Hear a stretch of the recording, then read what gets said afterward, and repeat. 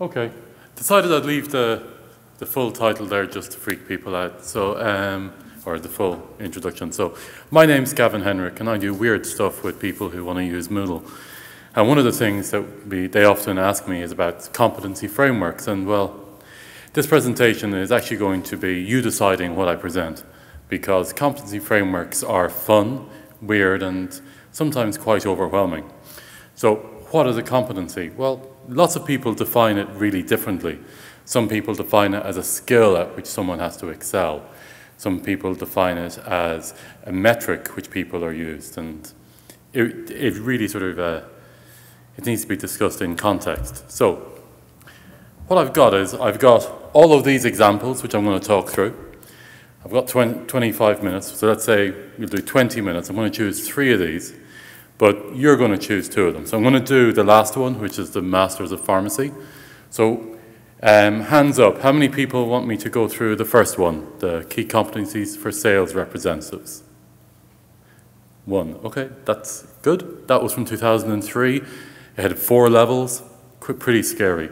What about the world-class sales competency model? Nope. Um, put your hands up for the ICE competency model. No. Okay. What is ICE? Okay. Let's we'll start off with that one then. There you go. Okay. So one of the key things in the last five, six years that competency models have started doing is identifying that people are different, to some extent at least. And so organizations often will have a set of competencies that all of their staff should have, and they call them core competencies. And then some of them will go, well, actually, after that, then they have their speciality or functional ones. And the ICE is that. So it's the Intercontinental Exchange where they have lots of exchanges.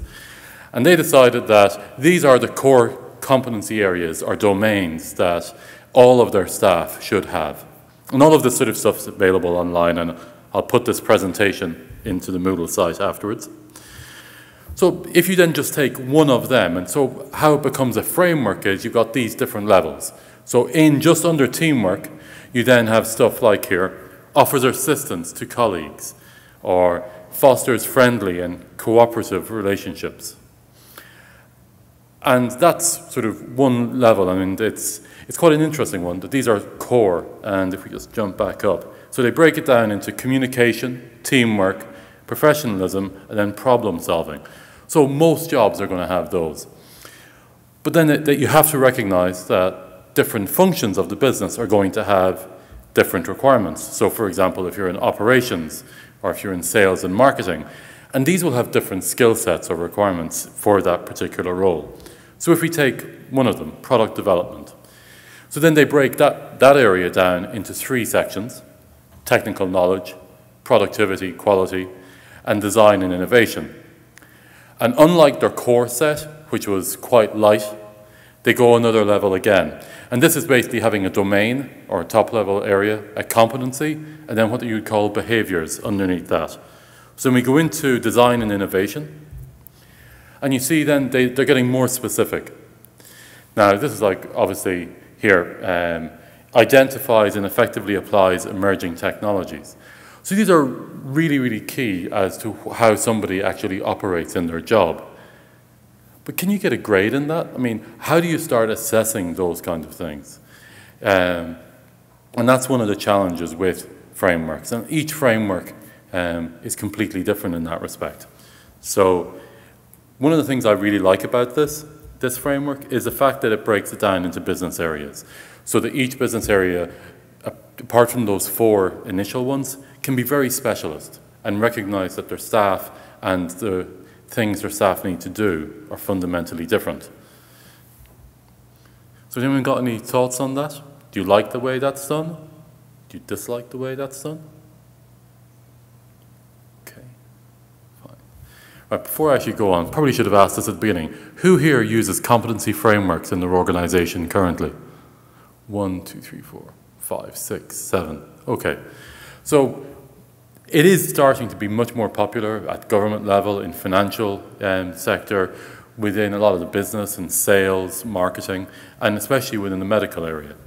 So I'll just jump down to the next example, take you through it. So Technology is one of them. Now, competencies, apart from being used within an organization for basically assessing whether somebody is good at their job or what they need to be good at their job and identifying training gaps, because that's primarily what it is.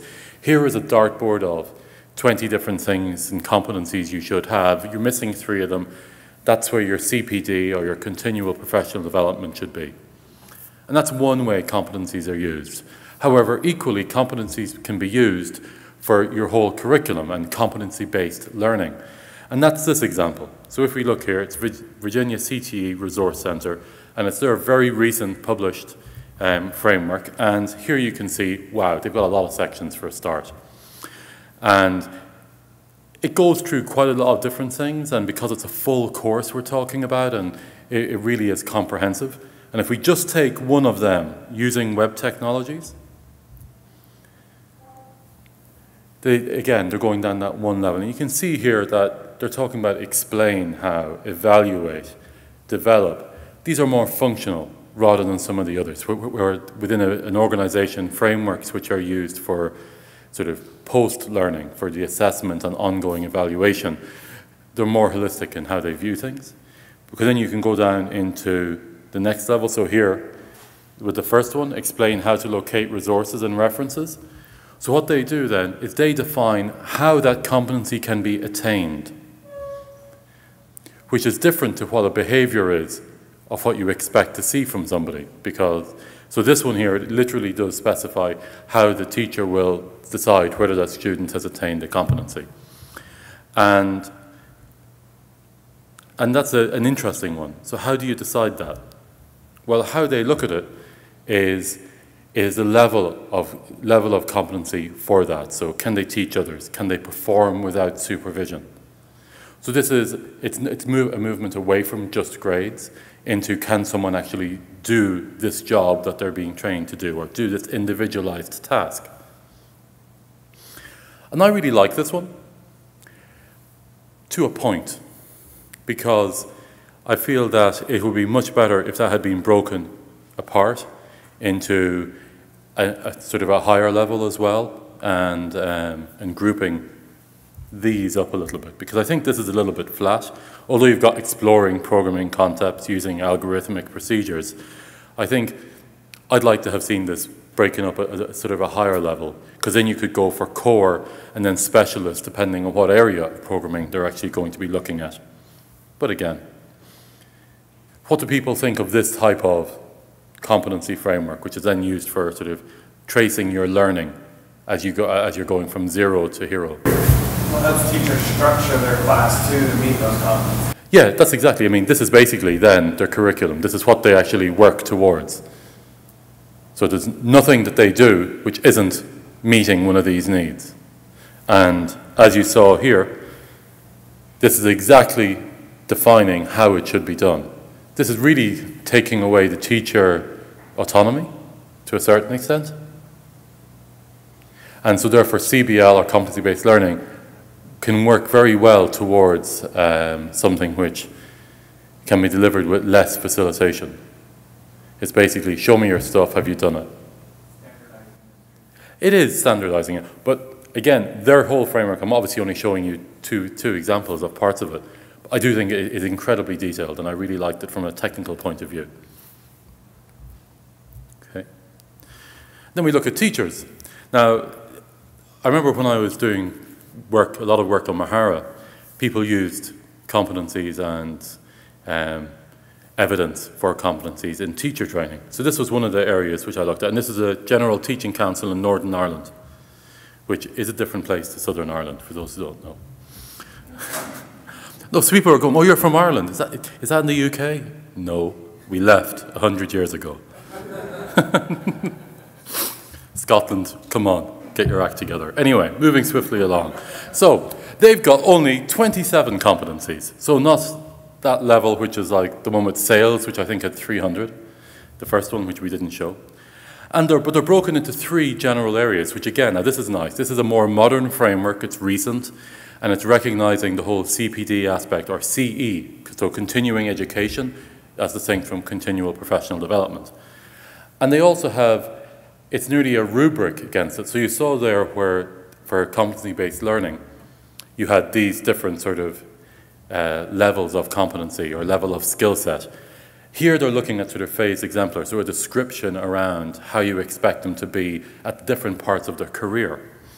So if we look at, this is the key thing, and this is really where competencies have started to evolve, because it is a continuum. You suddenly don't start from nothing and then become competent at everything, or competent being a teacher. It's constantly evolving. The whole challenge of being a teacher is evolving, and therefore your competency evolves and your requirements behind that evolve. So and it, continues throughout the career. I think that's really important to not understate. And this is where competency-based evaluations and assessments yearly, both self and through your industry, become really interesting. And you probably can't see that very well, but I, I tried to break it into something which was a bit smaller and a bit more manageable. But so it starts off um, and it goes through the competency statement, the aspect of the competency, and then the different phases. So initial teacher education, like know and understand their commitment to learners, colleagues, and other professions. And it moves then through induction, early professional development to continuing professional development, where they have to be, be prepared to proactively fulfill their commitments to learners, etc. So it's this continuum, and it's clearly defined and when you compare it to some of the early competency frameworks from 10, 15, even 20 years ago, they were much more yes, no. They, they lacked this depth, this richness in understanding of what frameworks and competency and CPD really can be. And if we just take one of them, I mean, you can monitoring the, the pupil's progress. Again, you've got these phases. And I think it, it recognizes that what teachers need to be doing at each stage. So you could look at a teacher and nearly identify where they are on each competency. Are they still still at the induction phase because maybe they haven't had the chance to explore that aspect of their of their ability or of their skill set in that role. And that's one of the, th the key things. Just because you have this competency framework, it doesn't mean that you're going to be able to develop every aspect of it every year. When once you qualify or once you're being continually um, developing yourself. Because not every job is the same. So for example, a pharmacist working in a pharmacy versus industrial research or a hospital, they're completely different in what they do on a daily, day, on a daily basis. So, oops, come on. Um, I'll briefly go through this one. This is another interesting one. This is used, um, the CMALT is, ALT is the Association of Learning Technologists in the UK. And this is their sort of professional standards framework for becoming a CMALT, sort of a, a registered learning or a certified learning professional. And, but it's peer-based. So it's introducing that other aspect. It's not university-based, but it is. It's a peer-based framework where you're actually creating the equivalent of an e-portfolio, but against this whole competency system and professional values and so on. And again, it's about what type of evidence you produce against it. But again, it's these sort of phases or these levels. So if you were to look at when they actually then talk about it, it's like how to write the CPD, because this is where it's used on an ongoing basis, post-graduation. And again, it's, it's very clearly, and reflection is a key part of this. So it's not as, it's not, this is where it's well beyond grades as such.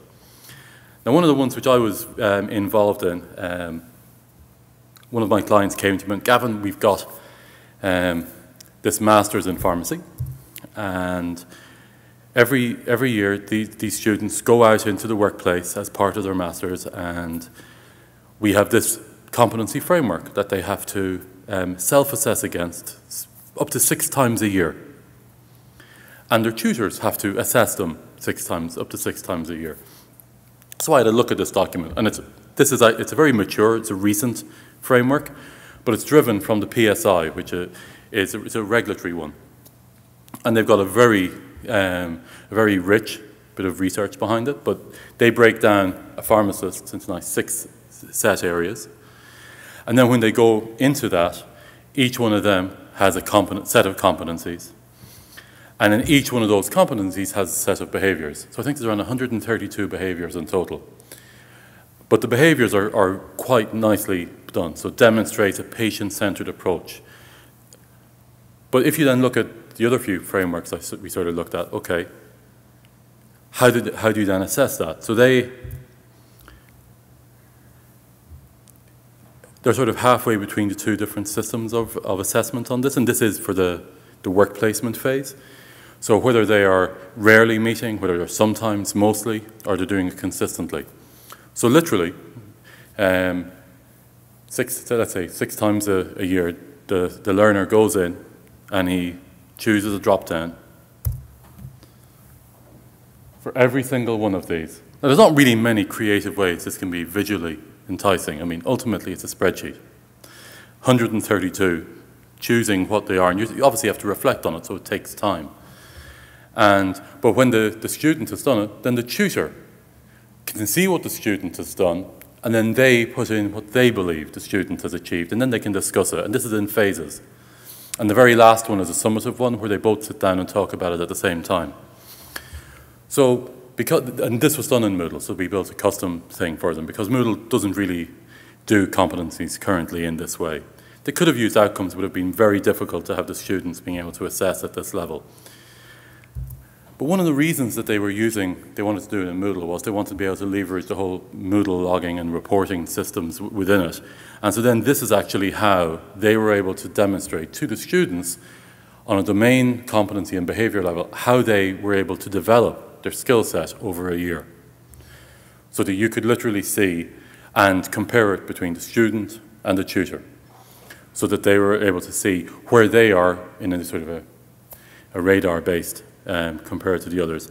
And then at the end of it, they just dump the summative stuff out of it and they use that for the regulatory reporting and so on. So, um, any thoughts or questions so far? It, well, this is, well, this is the Moodle activity. So basically the way that they did this one was they um, have every tutor and student in a group by themselves with different roles, and that role has different capabilities. So a student will go in and he will fill in their, um, their assessment, and then a tutor will go in and see what students they have and be able to go in and then continue it. And if they have to swap tutors, you just put a different tutor into the group and so on. So it becomes a, it was just an activity. And they wanted it within Moodle rather than building a standalone tool, which probably would have been a lot cheaper and easier, because they currently use Moodle for their whole masters. They, all of their courses, all of their tuition and assessment is done through Moodle, so they wanted it to be done that way. So that was just an example of, um, again, if you have a framework, and at the moment, Moodle doesn't have something, although going to come into that in a moment. Now, any other questions before I move on? Everyone still awake? No? Okay. Yeah. I mean, frameworks are one of the most interesting aspects of education. Okay. A, a few chuckles. So, I can't take it anymore. I'm out of here. Where's the pub? Um, I'm still going to need to get us in a minute. Anyway, so um, one of the interesting things that I've seen, that even, when, even if you don't use competencies within your course, I believe you can. But what do you use them for? So one of the institutions that I have also done work with have started looking at it's like these business readiness or workplace readiness skills. And these are just some examples. So Every institution probably has their own set of 10 or 12 of these. What a student should be when they graduate, apart from their qualification. These are just things that they have picked up along the way. Um, able to make a cup of coffee, tea, get the paper, you know, the important things. Um, and so these are just some of the examples. And it's becoming much more important because businesses are looking for this. So even though the grades are what the modules give the students, one of the areas that's now being actively looked at, and especially in Europe, is using competencies to report on these kind of soft skills, which are really valuable to give a report to the student to say, this is how you have progressed. And if you think of that, um, that sometimes, rarely, always kind of um, scale of how they demonstrate these, that's the kind of thing you're looking at. Some use badges for these, um, but I, I, know quite a few who are looking forward to see what Moodle does with regard to competencies for that. So what about Moodle? Well, Moodle has Moodle outcomes. Who here has been using Moodle outcomes in their, in their courses? One, two, do I see three, four, five, okay. Going once, six. Six there. Going once, going twice, sold to the lady in the corner. Um, so I love Moodle outcomes. I think they're absolutely brilliant. Um, it is a start, and you, you, but you can still do a lot with them already by assigning them into different, um, different um, assessments and activities and stuff. And I, I think that people just don't think about them because they are graded. They do, they do block up the grade book a little bit, but there's ways around that too. Because, I mean, if you see here, you can, they show up just right beside any of the actual items within it? So that's, that's what they look like at the moment. So you also have a separate outcomes report, um, which, you, which you can look at as well. And when you actually come to grade them, so rather than just having the grade points, you can actually then have these drop downs for whatever scales you have selected for the outcomes. And of course, outcomes can have different scales for each one. But at the moment, there's a piece of work and a bit of research going on about competency-based learning for Moodle. So I thought I'd just drop this in here. So there's a specification on Moodle and there's a discussion on the specification and the requirements around it. And there's also a survey. Martin, is that survey still ongoing? Yep. Okay. Do you want to, very quickly, do you want to explain wh where it is at the moment? or? Uh, so there's a, a, draft specification there. Um, there's a survey, there's some questions, but we resolved we need to have a second survey with follow-up questions, so that'll be published soon. Okay. Yeah. Yeah. I mean, um, I think one of the key things is even if you just look at the examples I've shown you, competencies can be used in so many different ways. And so having a robust framework management within Moodle will then give plugin developers an opportunity to how to leverage those competencies in different areas. Um, so, and that's really it. I just wanted to zip through this. I can always jump back. I'm, how much time do I have left? Quite a bit, actually. Eight minutes. Okay. Well, um, I'll jump, jump back up and I'll give you one of the others. That includes Q&A. Well, that's fine. Well, if anyone has a question, do you want to ask now before I go through one of these?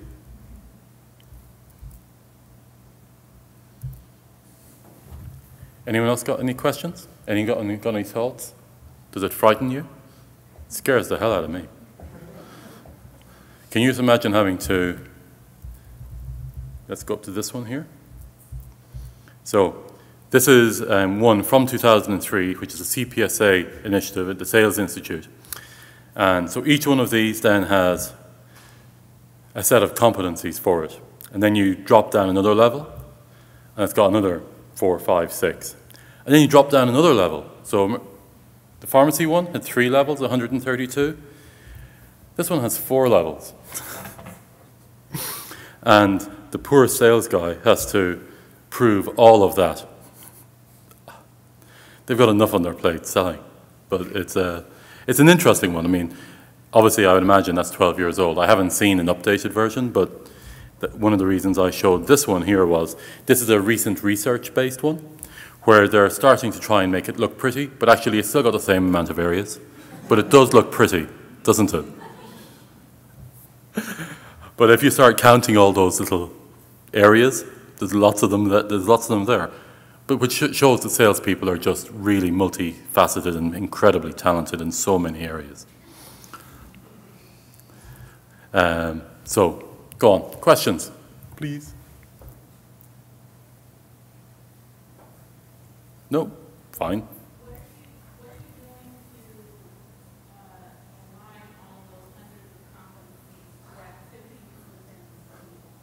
Well, you see, that's the thing. Sometimes that's not possible.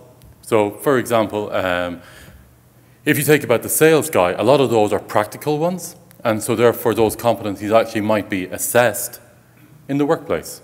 It might be something where um, a, a, sales, that the mentor of a sales guy will have a form when he's sitting in on a sales call or a sales visit, and he's filling in this form to say that the guy has, yes, he asked that question, yes, he did needs analysis correctly, Yes, he used reflective um, practice in, in that, and yes, he returned, got his sales quote, he did all these different behaviors during it. So a lot of them in these frameworks are not something which you have evidence for apart from somebody else's word. In the ones where you self-assess, again, that's not really an evidence-based. So it's a good question. It's a question is, is there activities in Moodle which can represent them? So maybe an offline assignment or assignment which is, has its information taken offline. I don't know. I guess I'm just interested in, in how does the competency framework also relate to the learning plans? And I also see so much value in that self-assessment piece. Yeah. Um, just for self-directed learning, uh, especially in, you know, practicing people who are in. Yeah. Well, I have seen um, occasions where they actually have done self-assessment, and then based on that self-assessment, it actually then shows up, okay, these are the six weakest areas that you have. This is what you should try and focus on. So it creates a dynamic learning plan or individualized learning plan for a student for the coming year. And I think that's one of the really strong areas for it. And that's actually, I think, where the CBL within Moodle could work well, because then they can record evidence against those. And I would also have something that indicates the strengths to help promote that mentorship. Yeah, yeah. You know, I mean, again, that's about once you have a framework management system that can manage these multiple levels and what they're called, like some are domains, some are categories, some are competencies, some are behaviors, some are, you know, every, every single one of these, depending on what culture, depending on what specialization, they're all called different things. Anyone else? at a school pharmacy, um, and obviously I'm not developing our competency structure for, for our group, for our faculty have kind of already done that. So when I look at kind of the spec that's been written, what, what should I, as like the instructional technologist, kind of keep doing? Taking our competency structure and making sure I can replicate it within the framework that's being proposed? Kind of Um, well, the, basically the way that the Moodle framework is being proposed at the moment is that you would just be able to create a spreadsheet to upload the framework into Moodle and then decide how that is to be used. Just because, I mean, a framework, as I said, can be used for learning, can be used for evaluation or assessment, depending what plugins and what other stuff is around it. And that's part of the survey. So I strongly suggest read the specification, Take part in the discussion. If you use competencies, it's really important that the different levels are all contributed in there and take part in the next survey. I think it's very valuable. I mean, it's a clear example of where Moodle is, and Moodle HQ, and Martin, keep your ears closed, actually is, is actively demanding from the community, help direct us. Because they're not, they, they aren't using competencies on a daily basis. Seven of ye here are within your industry, within your within your institutions and organizations. So you're the ones who need to pass back that expertise. Further comment, uh, on that specification, you'll see that some of it is about the core structures, which are fairly simple to store the data and manipulate the data. And some of it is, is like, it's about default interfaces that will come with Moodle. But just remember those interfaces can, you know, people can write plugins for different interfaces. Uh, Yeah. We try to write an engineering platform way. Yeah, I think actually, I mean, that's where I think it's really important that once you have that framework concept in there, it's then people can leverage it much better. So, for example, in that visualization tool I showed you, we had to build our own competency framework management system into Moodle.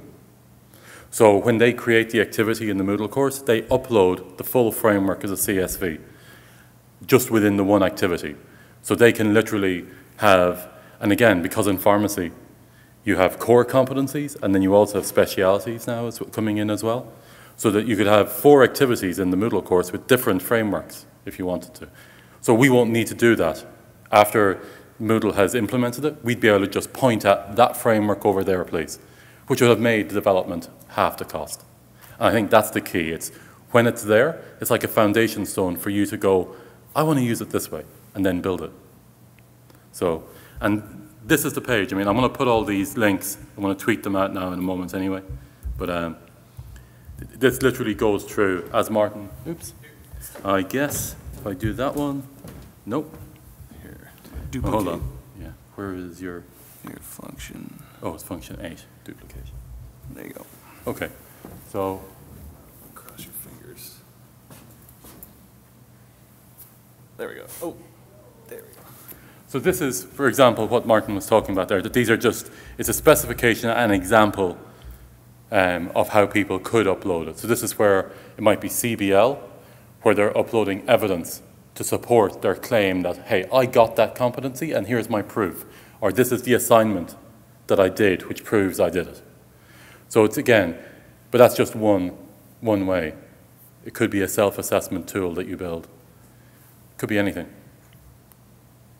So read through it. This is, it's meaty. I mean, if you look here, there's a lot in it. But if competencies is your game, invest the time. Okay, anyway. Hopefully that didn't bore you too much. Thank you. Thank you, Gavin.